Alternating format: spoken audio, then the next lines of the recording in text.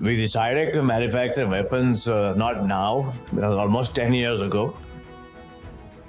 The reason is very simple. You know, if you if you look at weapons, they're all made out of forgings. So you look at artillery gun, the barrel is forged, the breech is forged, the recoil systems are forged. Uh, you look at small arms, uh, everything is forged in a small arm. So everything is uh, technology which we are familiar with. And it's a very natural transition for uh, companies like us to get into weapons manufacturing. Historically, even if for the last hundred years, it is just the metal and metal forming companies that started making arms.